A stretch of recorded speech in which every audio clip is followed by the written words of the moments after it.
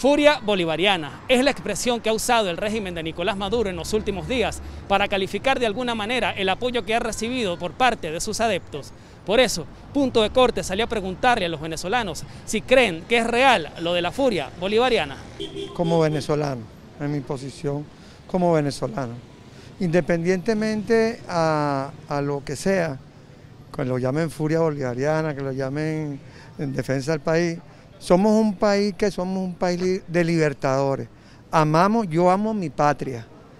Y si estoy dispuesto a dar la vida por mi patria, sí lo estoy dispuesto a dar mi vida por mi patria.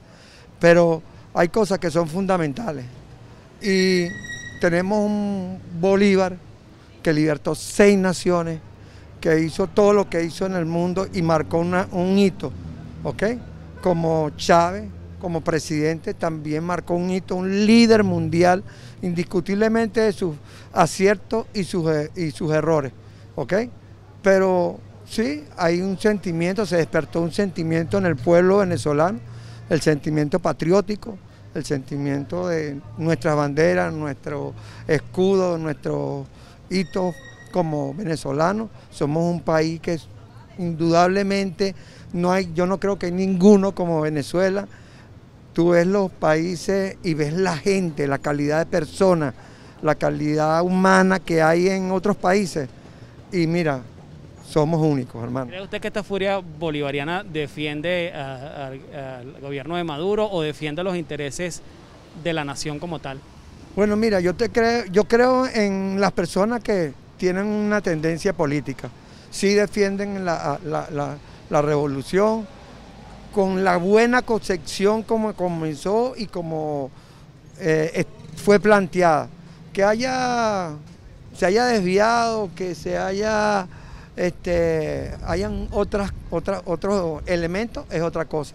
Pero sí, mira, sí, hay una furia bolivariana, hay un amor a la patria, se ha despertado ese sentimiento que estaba dormido, arropado y tapado por todas las cosas que nos inyectaron en el mundo. Está defendiendo la revolución, más bien todo el mundo está en contra de ella. ¿Cuáles serían las razones? La primera, la hambruna, eh, la dolarización del país, etcétera, etcétera. Pues toda esta situación que es terrible. ¿Cómo es su nombre, amigo? Juan Aray. Te voy a decir una cosa sinceramente, yo no participo en política y no me hago eco de política, no pertenezco a ninguna tolda política y en relación a la política no me meto. Soy completamente apolítico. Bueno, efectivamente, como tú lo has dicho, es para, para decir que el gobierno bolivariano, eh, eh, a través del pueblo, puede, puede y tiene como defenderse, pues. ¿Crees tú que esa defensa que, que Nicolás Maduro presume es real? ¿O crees tú que de alguna manera el pueblo esté, interesado realmente en defender esta revolución.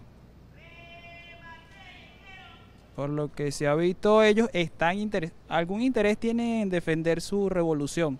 No sabemos cuál. ¿Tú, este, defenderías, si te tocara este, hacerlo, defender la revolución de Nicolás Maduro? De Nicolás Maduro no. De, nuestro, por, por, el pueblo, si, si nos toca, sí, hay que salir pues. O sea, estamos, no es defendiendo a Maduro, sino al país. Y bueno, estamos en la lucha, hermano. ¿Cree usted que, el pueblo en esta ocasión esté, esté defendiendo de alguna manera lo que ha hecho Nicolás Maduro todos estos años? Yo creo que sí, mi hermano. El país está, está mal, pero no es por el gobierno, el gobierno lo está haciendo bien. Pasa que no tienen, los Estados Unidos no tienen, ¿cómo se llama? Bloqueado, hermano, y así no pataleamos para ningún lado. Pues claro que no está interesado en defender a Maduro. ¿Por qué? Porque estamos pasando por una situación demasiado ruda, ¿me entiendes? Principalmente, digo yo, este, lo que es la parte de los alimentos, ¿me entiendes? Los alimentos, el desempleo, la medicina, todo eso. Habemos personas, por ejemplo, yo en mi caso, eh, este, yo tenía la, la, curiosidad, ¿me entiendes? Busco, la curiosidad no, la dicha en conseguirme un periodista o alguien así que me entrevistara. ¿Por qué? Porque yo no soy de aquí. Entonces he llevado mucho palo en esta cuarentena ¿ve? De todo lo que es policía, colectivo, guardia, todo eso. Porque no tengo donde vivir aquí. Y por eso es que ando como tú me miras aquí, no soy de aquí. Y soy una persona profesional. Soy abogado. ¿Me entiendes? Entonces aquí no tengo dónde comer, dónde vivir, ni nada de eso. Y por lo tanto, no haya ni cómo salir de aquí, de la capital para mi pueblo. ¿Me entiendes? Y yo digo que esa furia no es nada que ver. Y la- ¿De dónde eres tú? yo soy del estado de Bolívar, específicamente de un pueblo que se llama Caicaras del Orinoco.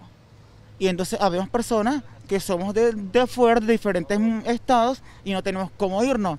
No somos aquí, no tenemos para pagar hotel diario, tengo que pagar hotel diario, tengo que, que pagar comida diaria. ¿Y dónde estás durmiendo tú actualmente? Bueno, ahorita me quedo por allí, eh, a veces me quedo en la calle, cuando no tengo, me quedo en la calle, cuando tengo, pago una pensión, un hotelcito y allí me quedo. ¿Ves? ¿Cuántos días tienes, cuánto tiempo tienes en, en Caracas? Tengo, te voy a decir, tengo ocho meses aquí en Caracas, pero cuando llegué a los primeros días eh, me robaron todo, donde vivía, en el hotel que yo vivía, me robaron todo y me quedé sin nada. Entonces de, de la cuarentena por acá he buscado trabajo y todo eso y no consigo trabajo. ¿Cómo consigo con esta cuarentena? ¿Me entiendes? Entonces no tengo cómo yo, cómo, yo, yo sobrevivir aquí, pues. ¿Ves? Y es horrible. Y esa furia, como me estás, eh, eh, esa pregunta que me hiciste, ¿quién va a defender a Maduro? ¿Quién va a defender al gobierno? Nadie. Aquí nos tocará a nosotros, los civiles, matarnos con los militares. Porque eso es lo que anda buscando el gobierno. Según la opinión de varios ciudadanos, defender la soberanía del país no guarda vinculación con la defensa al régimen de Nicolás Maduro. Reportó para Punto de Corte desde Caracas, Venezuela, y bajo la cámara de Edgar Hernández, Johan Pimentel.